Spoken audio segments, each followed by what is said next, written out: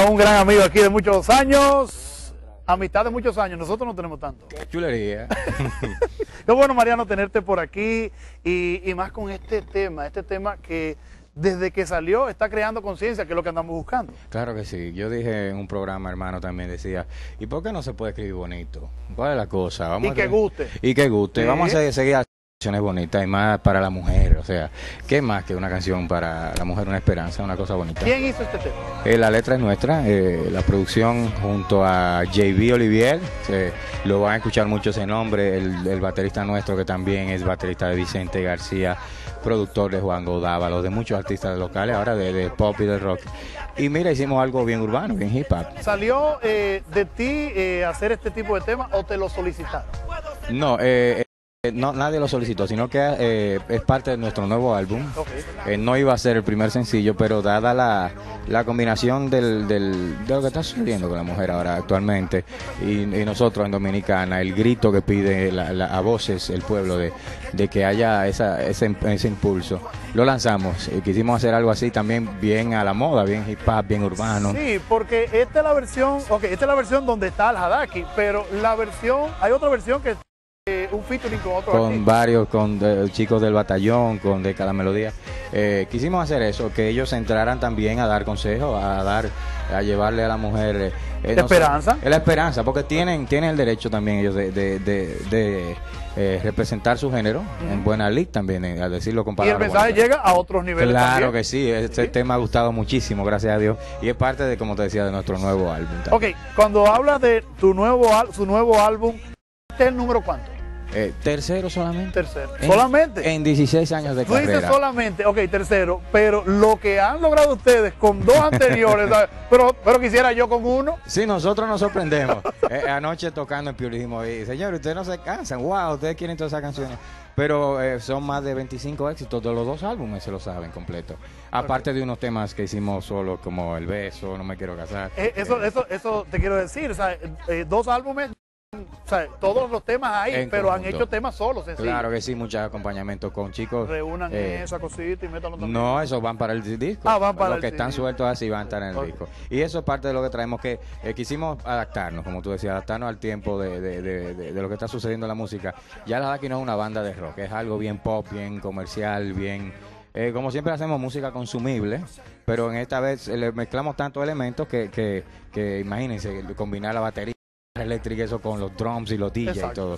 Una Que locura. Para ti, que eres un gran artista, un gran músico, también son cosas nuevas que, que impulsan el momento de la carrera. De verdad que sí. Si nosotros estábamos produciendo esa- ese tipo de música a otros artistas, decíamos, pero vamos a hacerlo para nosotros también. Lo que pasa es que yo entiendo, y por ti y otros ejemplos, que hay un momento en que el artista, por su madurez, prefiere estar detrás, detrás entregando un producto para que Claro. otro tipo de talento pueda llevar. Sí, nosotros que nos preguntan, nuestros queridos Cibao que le tocamos el año entero, el otro día reventamos Feni.g en Salcedo, increíble. Eh, le tocamos el año entero, le decimos que no podíamos grabar por cosas de disquera y eso, y nos preguntaban, ¿por qué no sacan? Ya podemos grabar, y ahora sí, que estamos detrás, como tú dices, haciendo producciones comerciales, eh, producciones a otros artistas, eh, publicidad. Eh, ahora vamos a estar de lleno otra vez regalándole canciones. Siempre hemos tocado en Estados Unidos que nos están esperando. Eso, eso te iba a decir, o sea, tú no dejas de viajar a Estados Unidos No, para que la gente disfrute de esto. Eh, hay un video que se llama El Hadaki's Back y El Hadaki Forever, que lo, lo hicieron allá los muchachos de la oficina y pusieron todo lo que sucede aquí en Estados Unidos los últimos tres años. Ahí van a encontrar eh, decenas de conciertos Claro. explotándose Pero de no hemos gente. encontrado muchas veces No hemos allá. encontrado allá eh, Umbrella. Todo- ¿cómo? La gente- no, aquí para... Lleno, la gente nos Sí. quiere mucho. Filadelfia, Washington, Boston, Sí. Lynn, eh, New Jersey, Connecticut. Diferentes generaciones, Mariano. Totalmente de acuerdo.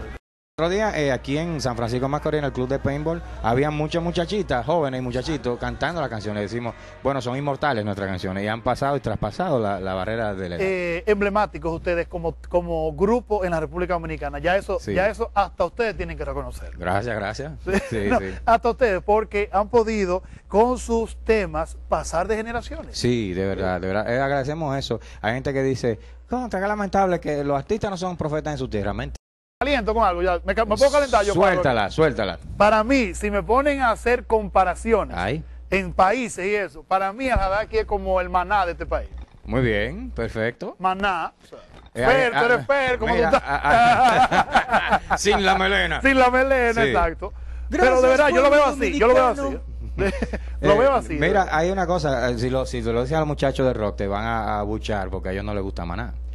Los Bueno, está bien. Yo lo que quise fue No, el pero posicionamiento. Nosotros, a nosotros sí, porque lamentablemente han vendido 70 millones de copias, Perdóname. cobran 250 mil dólares por concierto Perdóname. y tienen el récord de conciertos. Pero ustedes salen un poco más económicos. Exacto. Yo quisiera ser el maná. No, no, claro, y eso, y eso óyeme, eh, el cariño y la aceptación del público, no importando la edad de República Dominicana, porque sé que hay muchos jóvenes que oyen el tema y dicen, oh, pero son ellos, Claro que porque sí. lo han escuchado tanto en sus padres como en otras actividades.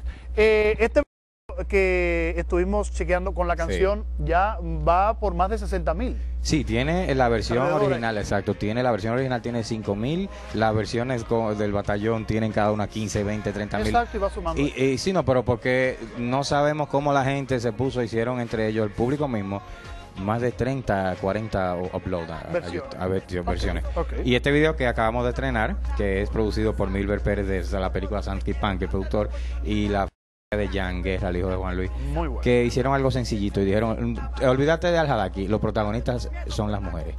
Es la mujer, el protagonista de ese video, eh, algo sencillo, que solamente ellas expresen lo que tú quieres decir. Y de verdad es un regalo para todas. Vamos a disfrutar de otro tema que estará en, en este álbum. Este va a ser el próximo sencillo, ya sale pronto, te lo vamos a estrenar aquí.